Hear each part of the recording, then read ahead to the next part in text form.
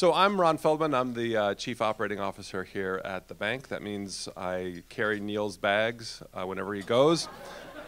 Although now with this job I've had for six weeks, so I usually now delegate that to somebody else. So it's it's a been it's it's a big promotion. So I, I really want to get right to the keynote speaker, which is Governor Brainard, Lael Brainard.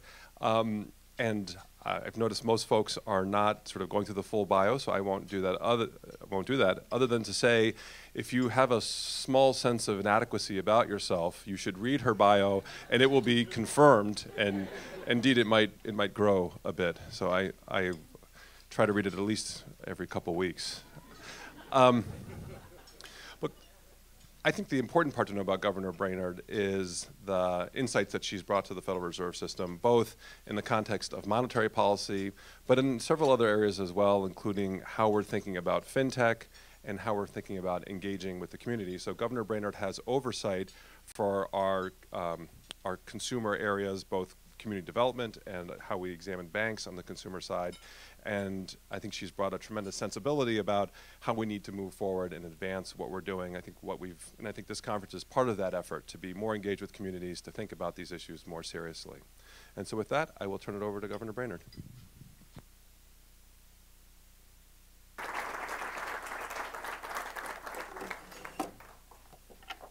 Well, thank you for that very kind introduction, uh, Ron. And I want to uh, thank Neil in particular for launching uh, the Opportunity and Inclusive Growth Institute and for inviting me to take uh, part in your deliberations today. Uh, I have no doubt this new institute will make an enormous contribution to our work at the Federal Reserve.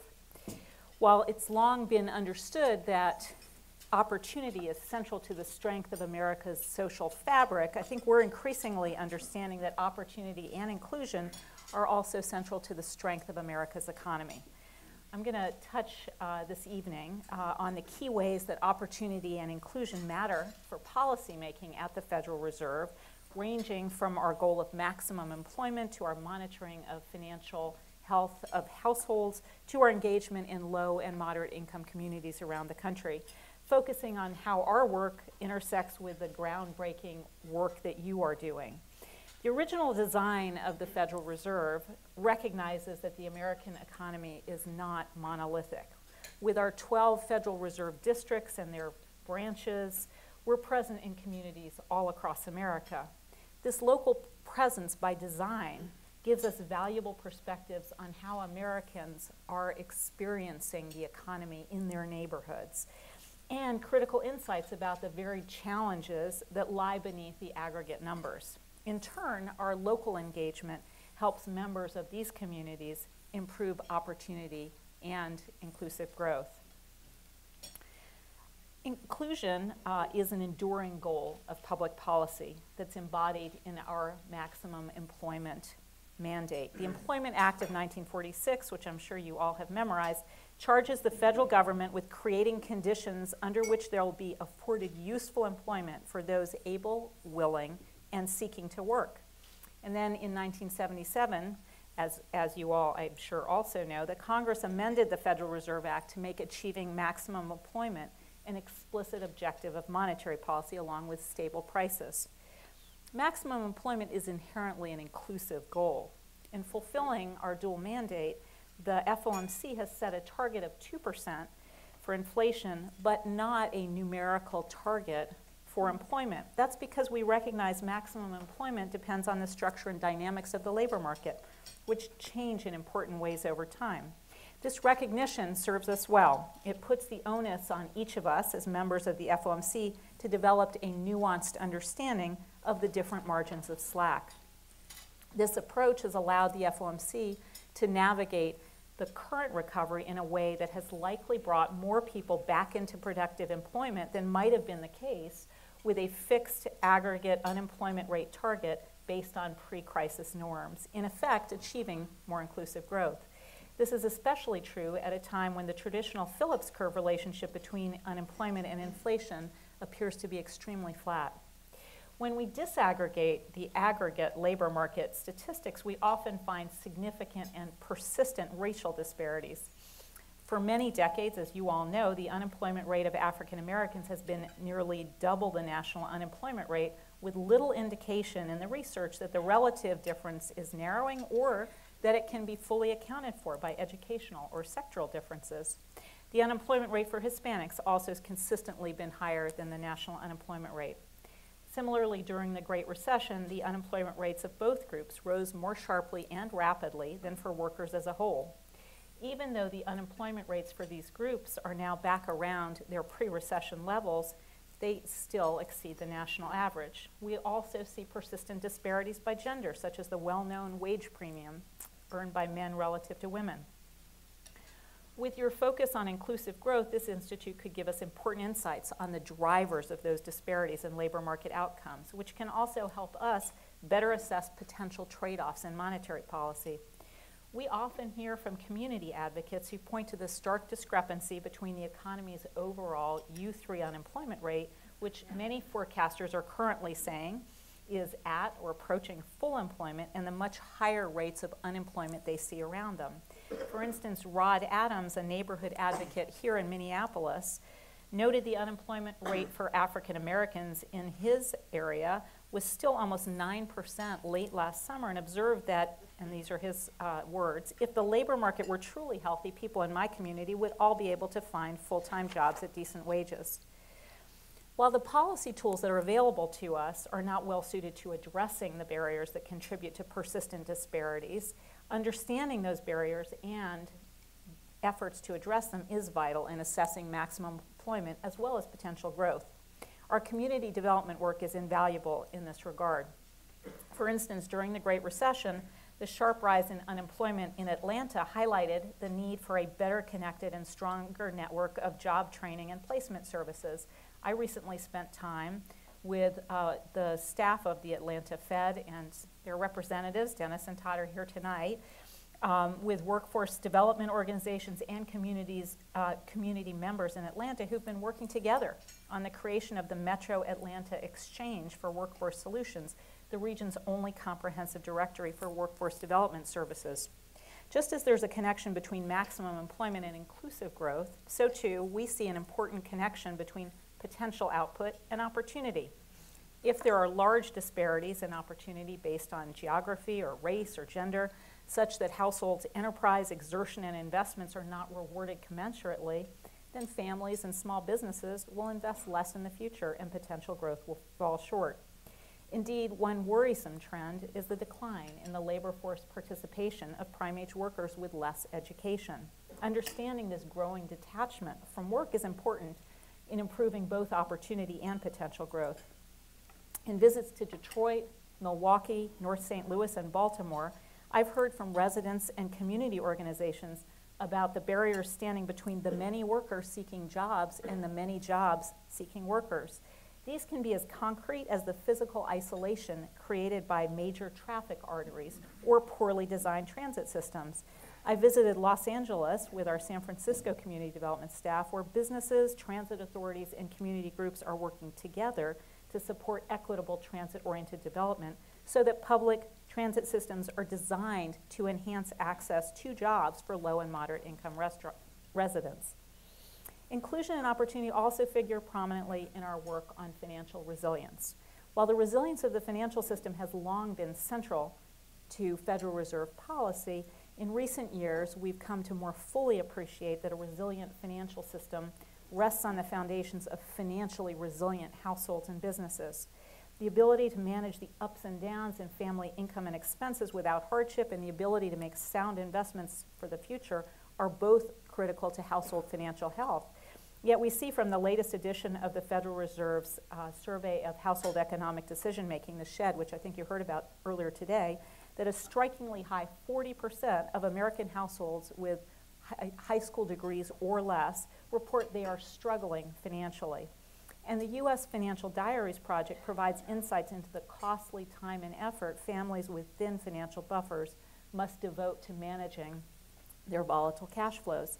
A seemingly modest mismatch between income and expenses can send the finances of some families into a downward spiral from which it can be expensive and difficult to recover. The recent SHED shows that nearly one fourth of all households are unable to pay their current month's bill in full. Nearly one third would rely on borrowing or selling something to cover an unexpected $400 expense, and one in eight simply wouldn't be able to cover that kind of emergency expense by any means. Indeed, it's all too common for households to have inadequate short term savings to cover emergencies. And we know from the Survey of Consumer Finances that that observation does not just pertain to low and moderate income houses, but also to households in the middle quintile of income. Moreover, the financial crisis demonstrated that household financial imbalances can have important consequences for overall financial stability. The rapid and widespread rise in poorly unwritten, underwritten mortgage debt prior to the Great Recession is widely viewed as a key contributor to the crisis. This suggests the potential value of better understanding the specific patterns in household finances that would give an early warning of a crisis. We're developing a more granular understanding in our work and look forward to contributions from the group here as well. Slower income growth, as well as substantial volatility in income, has raised the financial stress faced by low and moderate income families and may be limiting absolute mobility across generations. Uh, research in this room has contributed to the now well known fact that over time, the American dream that each generation can be expect to be better off than their parents' generation has gone from being near universal to increasingly out of reach for most of the population. The ability to invest for the future has also become more challenging. Education and home ownership have long been key paths to opportunity, but the sharp declines in house prices in the Great Recession and the substantial rise in student loan debt have made it clear that investments in both homeownership and education are not without risk and the payoff can vary greatly depending on the circumstances. Homeownership for many has been a way to turn regular expenses into an asset building investment in the future, which is especially important given the wide and persistent disparities in wealth by race and ethnicity. But the past decade suggests that owning a home can, in some circumstances, exacerbate financial difficulties for vulnerable families. The lesson that even a moderate decline in house prices can erase home equity applies broadly, along with the importance of sound underwriting and servicing. But the fact that African American and Hispanic households are more likely to lose their jobs in a recession and are also more likely to live in neighborhoods with concentrated job loss led to even larger house price declines and more foreclosures among these households. Indeed, there are many low income neighborhoods in which homeowners remain underwater on their mortgages even today. Community development organizations are integrating this more nuanced view of asset building into practice. Better Family Life, a community group I visited in North St. Louis, provides would be homebuyers with education and counseling on how to manage the cost of home ownership and tools to navigate real estate markets and find good loans. This kind of housing counseling increases the likelihood that home ownership will pay off for first time homebuyers in moderate to low income neighborhoods. Similarly, under the right circumstances, education can be a critical investment in the future.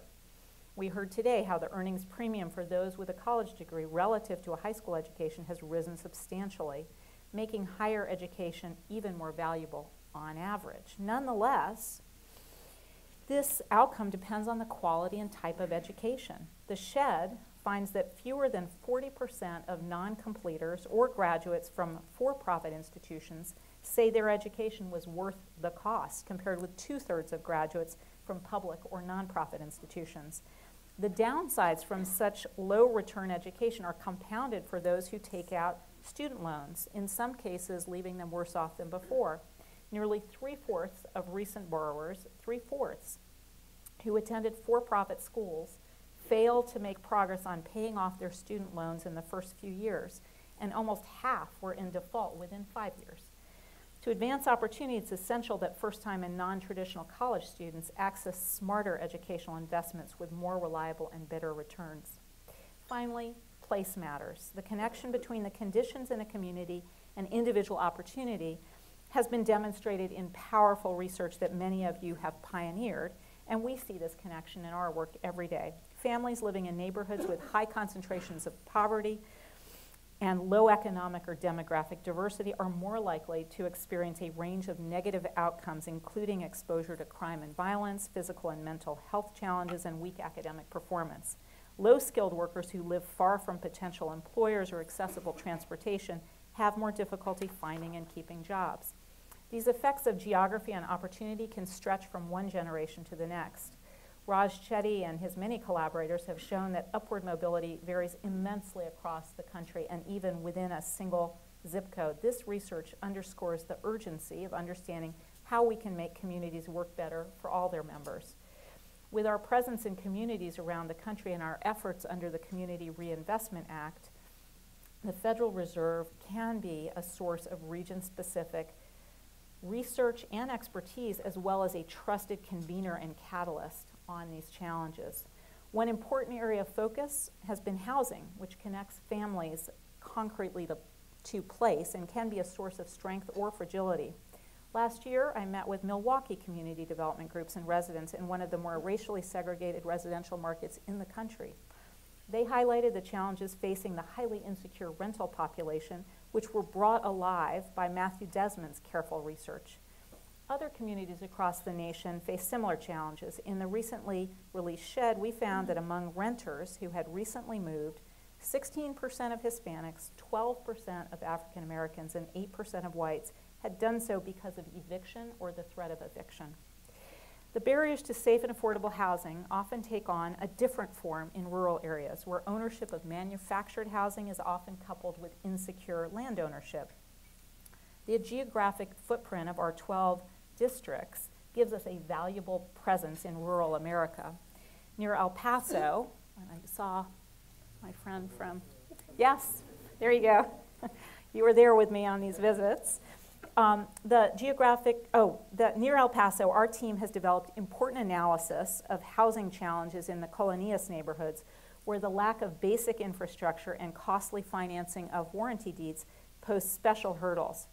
We've seen successful models of providing affordable housing when community development financial institutions and organizations, banks, and local residents partner. On a recent visit that we took together in El Paso, I saw the value of these approaches as a single mother with significant health challenges received the keys to a new home in a stable community after many long years. While the densely wooded hills and hollers of eastern Kentucky are a sharp contrast to the desert and floodplain expanses of the Southwest, the keys to affordable housing in a healthy community can bring just as great an improvement in opportunity. As I witnessed, whether it be for a retiree in Helena, Arkansas, a single mom in El Paso, Texas, or a dad on disability in Emlyn, Kentucky, the keys to affordable housing in a stable community can unlock opportunity for future generations. Rural residents and small businesses also face increasing challenges as small community banks close and larger banks close branches in low population density areas.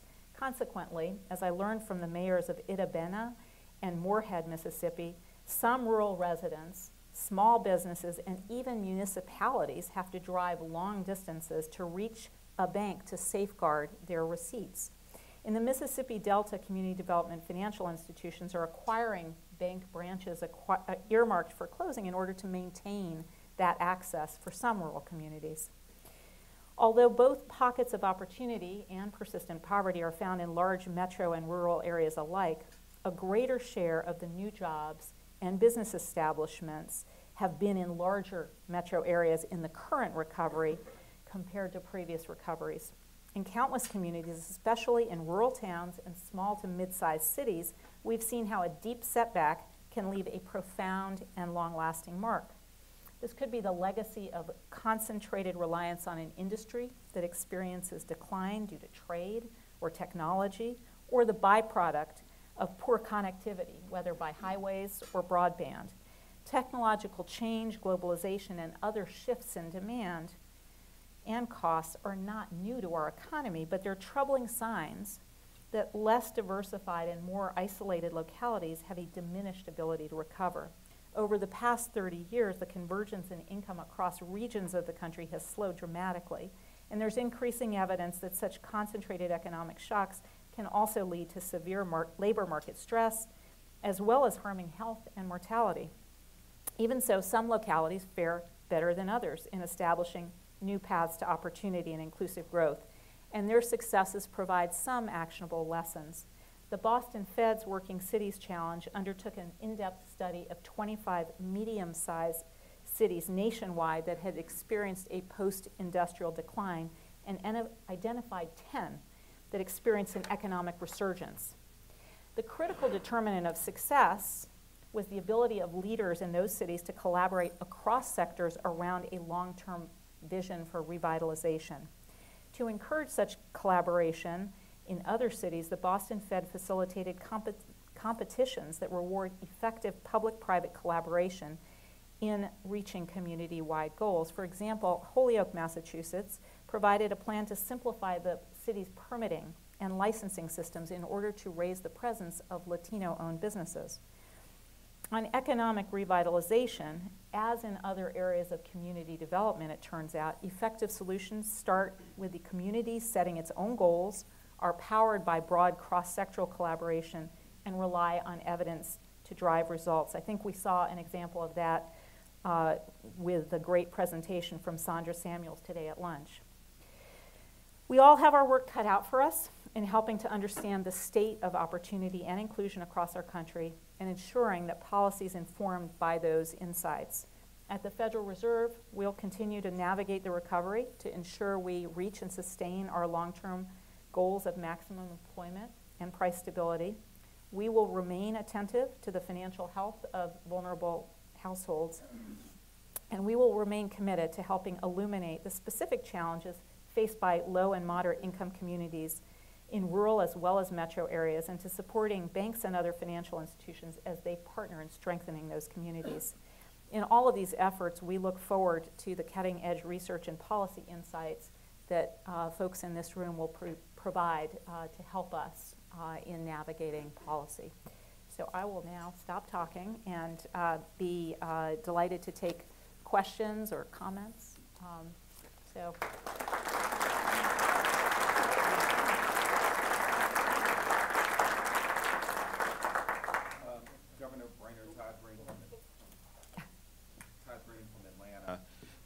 I was uh, curious about um, the fintech uh, issue, and so uh, certainly this has an opportunity. Fintech has an opportunity to democratize how we think about financial services for low and moderate income populations.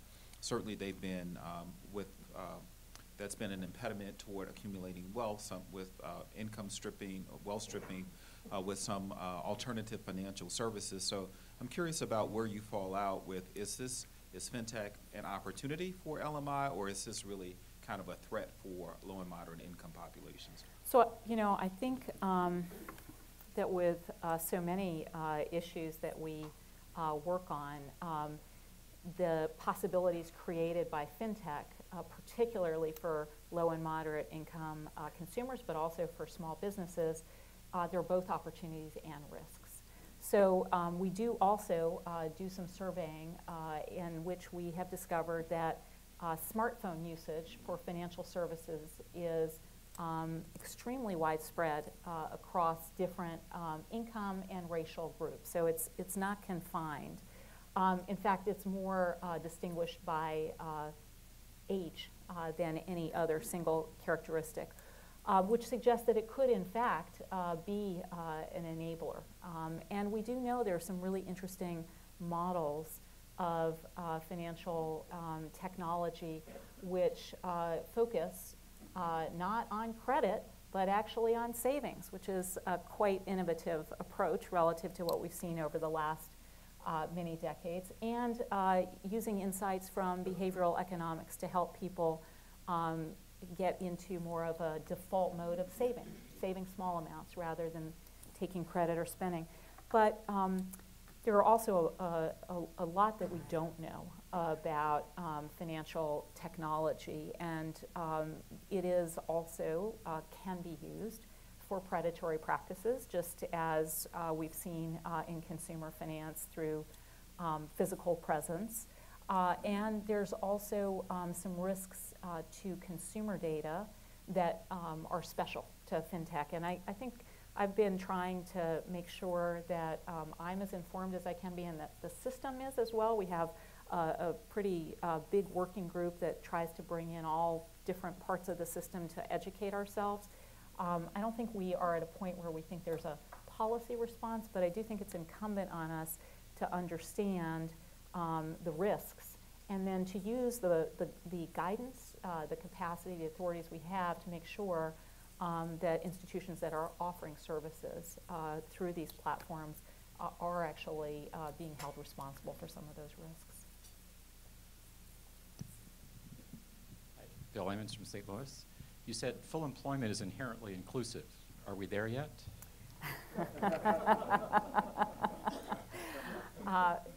That's a, that's a good question.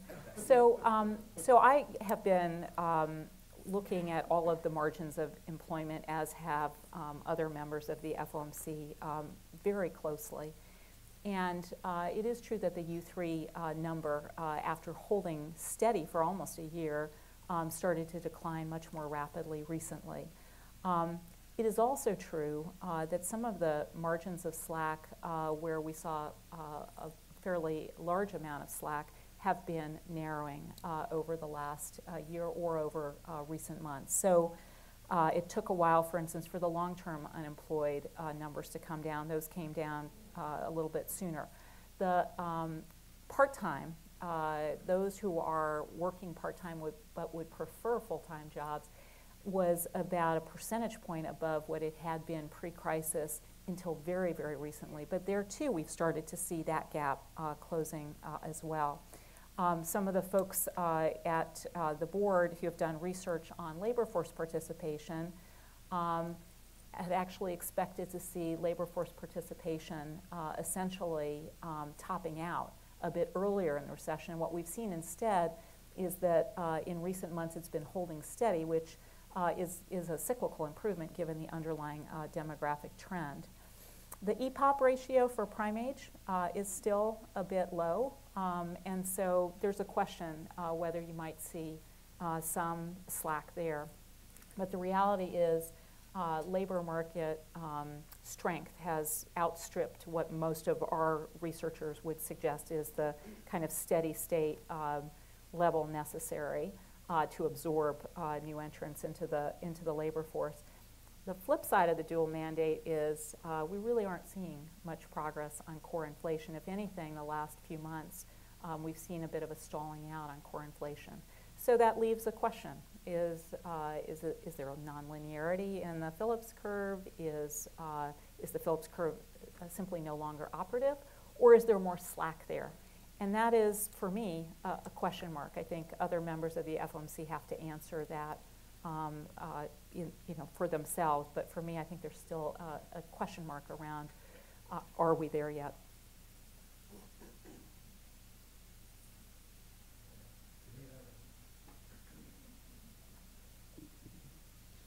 You, you described in vivid and heart-rending detail, V.V. Chari, University of Minnesota. So you described in vivid and heart-rending detail the difficulties of some communities when their neighborhood bank closed down. As a quantitatively oriented economist, what fraction of those difficulties would you attribute to the Dodd-Frank Act and to the way that regulators, including the Federal Reserve, have implemented that act? So um, let me just say that I have looked at all kinds of measures of credit. Credit is flowing uh, and has been for some time in the recovery. Banks are lending, um, and uh, essentially we've seen um, a full recovery of the resilience of the financial system. Um, and, and we have seen so in a context where banks are much better capitalized than they were prior to the crisis, much better uh, able to absorb shocks, uh, managing risks much uh, more carefully, uh, and managing their liquidity for the first time in a way that uh, they can actually um, get their hands around.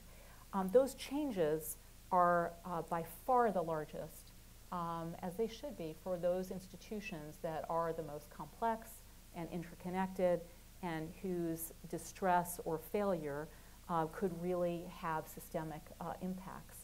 Uh, For smaller institutions, um, for the most part, a lot of the regulations uh, are tailored. There are some um, which uh, I think we, uh, as policymakers at the board, uh, would like to see um, some more tailoring, um, and some of that uh, is statutory. So, for instance, the Volcker rule shouldn't apply to uh, most institutions below a very, very substantial um, scale. Um, similarly, stress testing is just not particularly useful to us and probably not to the managers of banks, many banks, that are in the 10 to 50 billion dollar range. And so those are areas that I think um, could uh, meaningfully reduce the burden on smaller institutions um, with no impact, uh, no, um, no cost to the stability of the system. For the larger institutions, there are also some changes I think that could be made there. Um, the supplemental leverage ratio, for instance, um, is uh, the binding constraint in some cases uh, where that's actually probably not uh, the most effective way uh, to be addressing risk in the system. Um, but other uh, uh, kinds of changes, um, the stress tests, the capital buffers, the surcharge for the largest and most complex institutions, the need to be transparent and stress liquidity, and very importantly, the living wills. Um, are enormously powerful tools, um, and I would be extremely loath um, to trade them off with, I think, uh, very little benefit um, to credit uh, or the vitality of the economy, but with potentially very severe uh, consequences for the probability of another uh, large uh, crisis down the road, which, as we all know, uh, disproportionately impacts the same communities that we are focused on in this conference.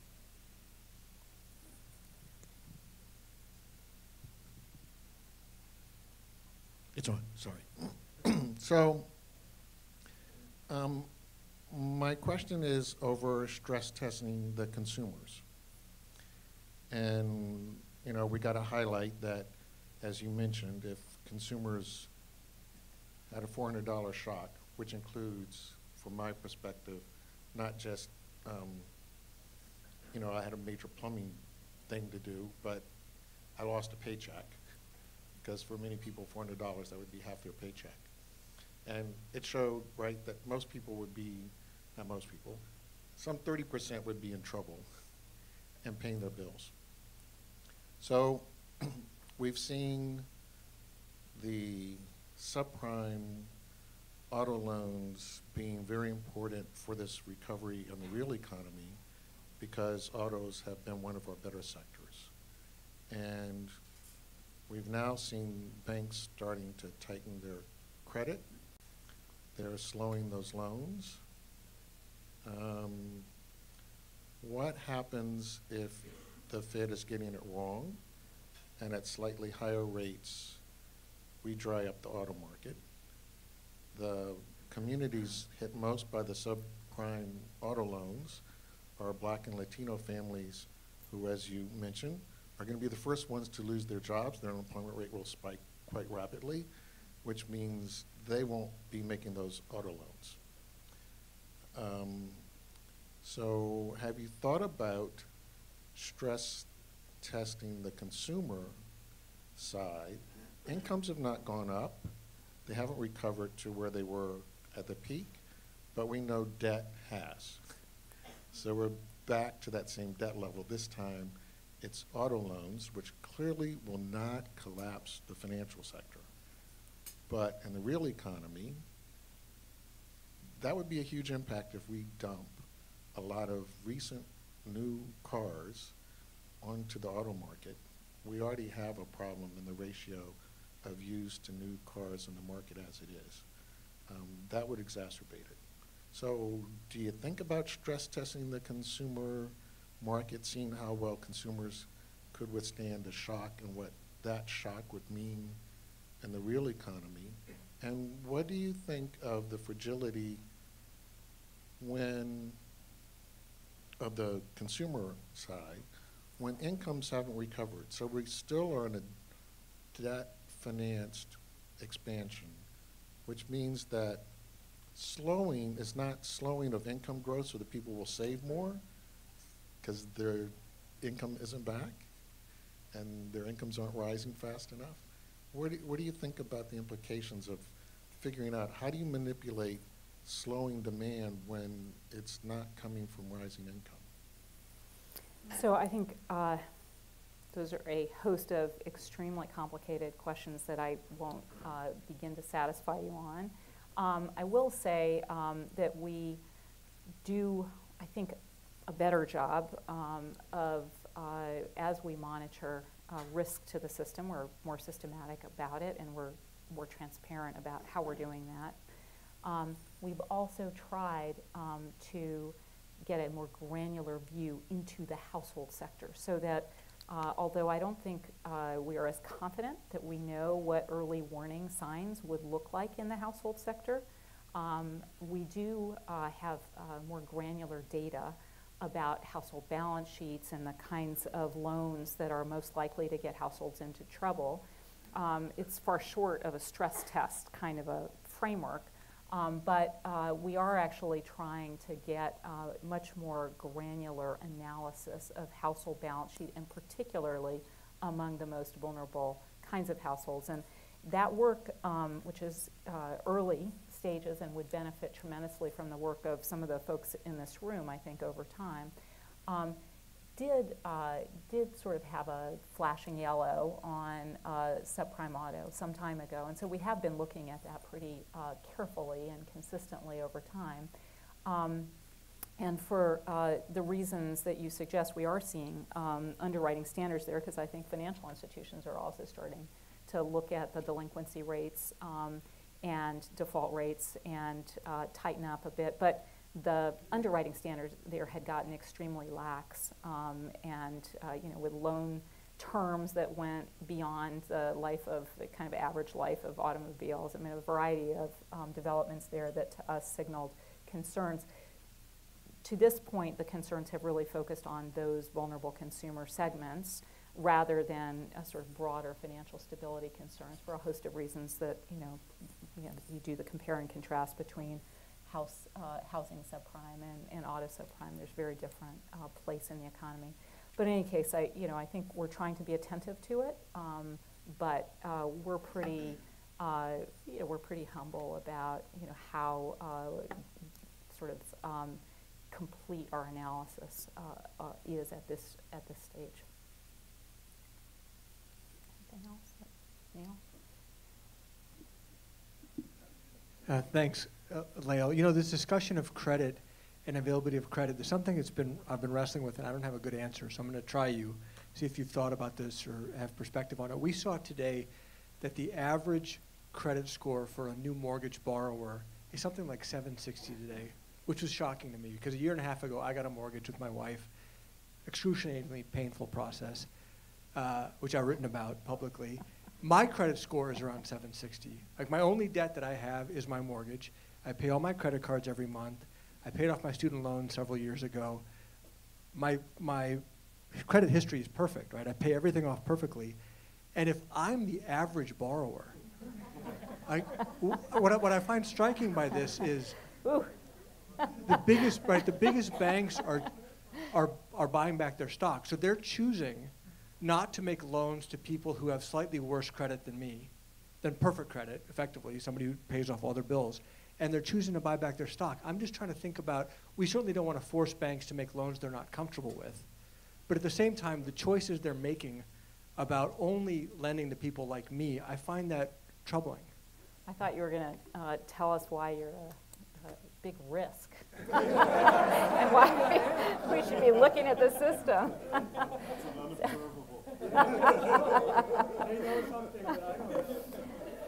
No, so I think um, I, you know, I think we've all been tracking um, the housing market uh, very closely for you know all the obvious reasons because it is an asset building uh, path that has been uh, really very successful in previous history because it's so important to the strength of demand in the U.S. economy, um, and uh, it's absolutely uh, true uh, that the minimum FICO score uh, that uh, uh, people are able to access uh, mortgages, while well below yours, is still well above pre-crisis norms.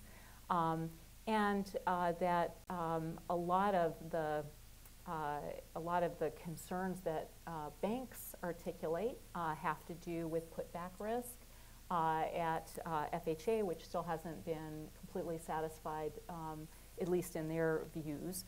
Um, the result of which is that we're seeing a lot of that financing, even more of that financing moving outside uh, of the banking system, and uh, people who previously would have been able to get mortgages no longer able to. The other factor that seems to be um, relevant, although here I think the research is, is uh, indicative but maybe not entirely conclusive, is that first-time homebuyers uh, are coming to the market later, um, and uh, the household formation uh, rate is only now beginning to look a bit uh, like it did pre-crisis, in part because uh, in part because of changes in risk perceptions, no doubt, but in part because they are coming with heavier burdens from student loans. Uh, and so that seems also to be delaying both household formation uh, and home ownership in a way that seems to be material.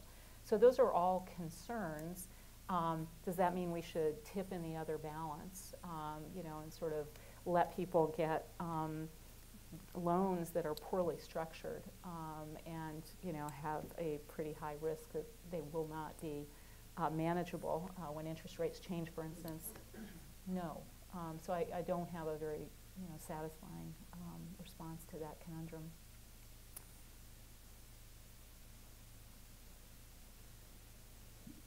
Lael, if, if Neel can ask that question, then I have one for you as well. I'm just Uh, wondering if we're going to hear about your auto loans. And this is a longer, a longer-term question. It's the, the basic question is, how do you think about it? Whether, do you worry or do you not? Artificial intelligence, robotics, automation, autonomous vehicles, um, service jobs, including financial analysts being replaced by machine learning. Threat or opportunity? Is it something you worry about in terms of dis- uh, disruption to employment in the country or not? So, um, I, you know, when I um, look at some of the developments, it's you know it's very hard to peer around the corner, as I'm sure um, you you also um, have found. But some of the areas that automation is uh, quickly making inroads are um, uh, occupations that were uh, like some of the uh, manufacturing jobs uh, that were impacted by trade, for instance, are on ramps um, to the middle class, or at least on ramps to productive employment and stable employment. Um, so, automation uh, is going to accelerate in fast food, for instance. Um, uh, driving, um, uh, driving of all types. Uh, th- those are also occupations that were uh, stable and remunerative uh, for people without without college degrees, with high school degrees. So I, I worry that um, that same segment of the population um, could find that it's very difficult um, to adapt um, as some of these developments uh, proceed. Now, of course, you're right that they could also um, impact uh, professional and managerial kinds of, uh, and I'm sure they will, but I think I worry more about people for whom these jobs are really the most uh, stable and viable path to um, income security and um, to uh, establishing a better life for their, for their children. On the other hand, we've seen um, the economy adapt uh, continuously uh, and create new jobs in different sectors. And you know, I, I have no doubt um, that a similar kind of process is underway uh, now. Again, you know, in our um, in our set of institutions and political culture, you know, we don't do we do a terrible job of taking care of those um, who lose out in those processes. And so the kinds of um, income uh, graphs that we were looking at today, the same kinds of uh, trends could be even further exacerbated by these kinds of developments unless we find better ways of helping those who are losing out, I think I, that troubles me.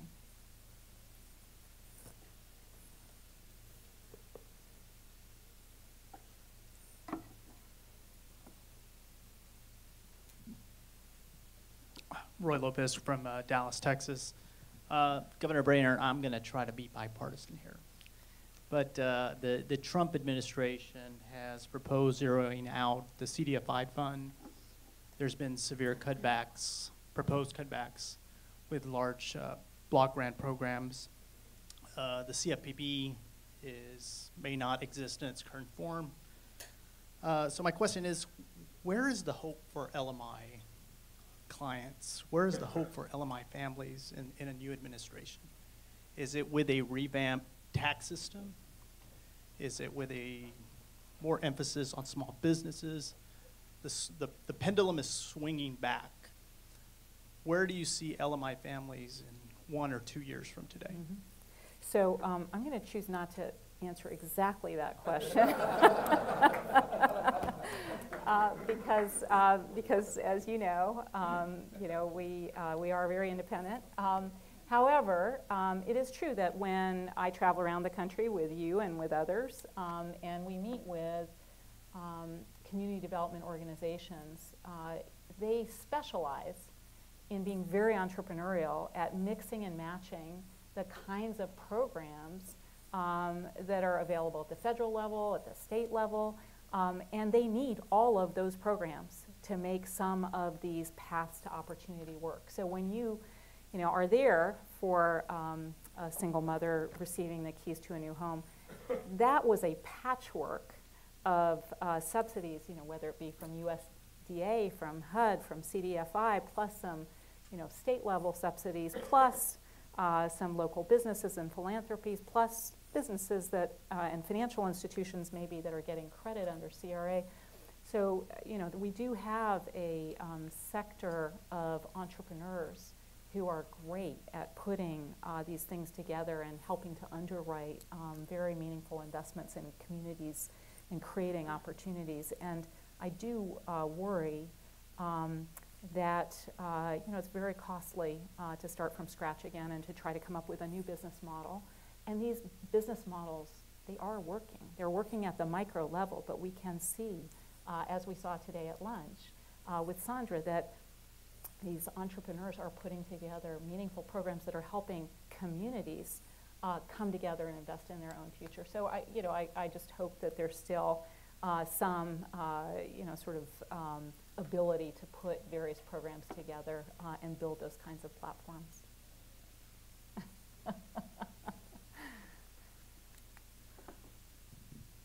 Uh, Governor Brainard, uh, John Moon with the Federal Reserve, thank you so much for taking this time to spend with us. Um, so going back to the, a future question, um, so in 30 to 40 years, the United States is going to be a majority-minority country. And um, with uh, many of the issues that we talked about today, um, uh, significant disparities, uh, particularly within Latino and African American communities, where especially entitlement programs are based on a productive workforce how, how might we think about that in the future? I, you know, in, in, San Francisco, where we already are, in California is a majority minority. We as an organization, the bank has you know really doubled down on our focus on diversity and inclusion, knowing that we need to better understand our our um, uh, the people in our state and, and for in our district as a whole. But how, how should we be thinking about it as a system and, and as the board?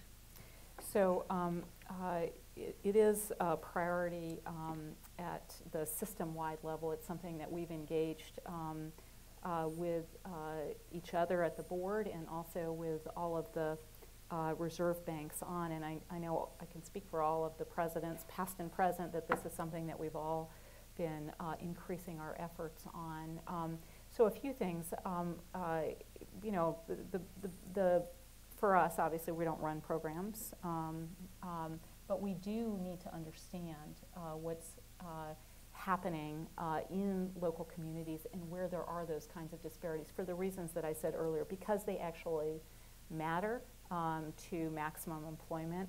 They actually are critically important for uh, potential growth. uh, and for using um, our labor force in the most productive way possible and making sure that we have as expansive a labor force as we can, uh, given uh, demographic trends. Um, and so part of what we've been doing um, is just being more explicit in our um, public research and analysis that these things matter. So um, David and Stephanie have been very engaged on uh, these efforts, and you can see it in the monetary policy report where we're trying to be much more granular about racial disparities um, in employment uh, and labor force participation and some of the factors that do explain those uh, and some of the um, the remaining um, uh, discrepancies that simply cannot be explained uh, well uh, by observable um, uh, characteristics. We also are trying to um, uh, improve our own diversity and our own inclusion, um, and we've got a really um, big challenge ahead of us. we're making progress. It's a very um, top priority in all of the districts and certainly at the board, um, but it's a slow process. Um, and in part, it's because we need to get um, better representation of African Americans and Hispanics in some of the professional arenas. So we've been working with Lisa and with others, uh, for instance, in the uh, economics uh, uh recruiting arena to convince people this is, this is a great uh, profession. Uh, and, you know, spend some time with us, you'll love it. Um, but um, but it's a it's a uh, something that I think um, we try to do better on in our um, uh, in in the um, councils, um, in the boards of directors. so you'll see if you look at the Class A and Class B directors, those statistics are getting better, and we are seeing the benefit of it in terms of the quality of interaction that we have um, that greater diversity of the folks around the table at each of the reserve banks and in our councils um, is really helping us uh, do a better job. So that, that too uh, is an area of uh, continued improvement. And then of course, community development is the area where I think we can engage uh, most deeply on, on, some of these issues. But it's, um, you know, we're falling short um, and we care a lot about it. It's a very high priority, but it's it's gonna, it's a long-term investment plan. It's gonna take us a while to get there. All right, is that it? Thank you.